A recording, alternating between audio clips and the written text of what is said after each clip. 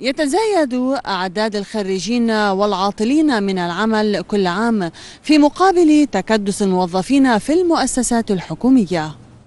قضية نسلط الضوء عليها في ظل عدم موائمة مخرجات التعليم مع سوق العمل وذلك مع أهل الاختصاص من الكوادر التعليمية والذين انتقدوا بشكل عام الوضع التعليمي في البلاد.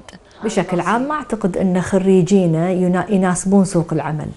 يعني ما أعتقد أعتقد أن هناك في ثغرة بين الخريج بتخصصاته واحتياجات سوق العمل وإلا فكيف نفسر هذه هذا الإنفاق على البرامج التدريبية؟ إحنا دربنا الطالب أربع سنوات، ليش الأسواق، ليش عفوا القطاع الخاص والقطاع الحكومي يدرب الخريج مرة أخرى؟ معناها إنه مو يعني يعني ما تلقاه من العلم ما يناسب مكان العمل.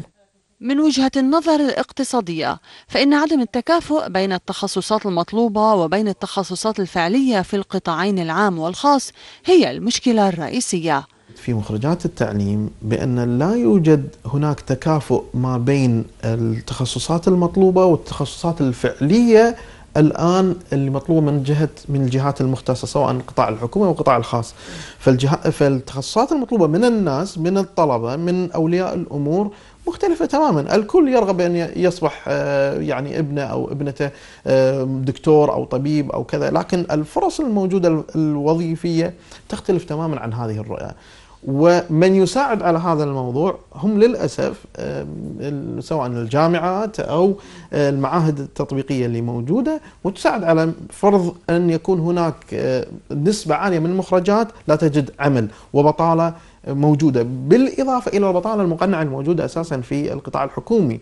في حين يرى آخرون أن الثغر الأساس تتعلق بعدم دراسة الواقع النفطي للبلاد وإيجاد تخصصات توائم متطلباته الجامعات والمؤسسات التعليمية بالكويت بس مجرد مؤسسات تعليمية لا تعلم تماما مخرج الطالب وين لما يخلص من جامعته أو من معهده وين يروح. الكويت دولة نفطية. كان يجب عليها أنها توجه هذه الثروة وهذه الشباب إلى مصلحة واحدة أن تكون هناك مثلا جامعات خاصة وكثيفة وكثيرة أو خلينا نقول الأغلبية خاصة بالنفط على الأقل ومخرجات النفط.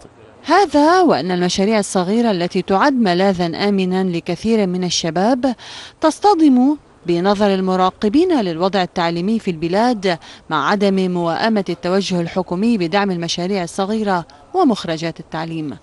ابتسام رمال الرأي.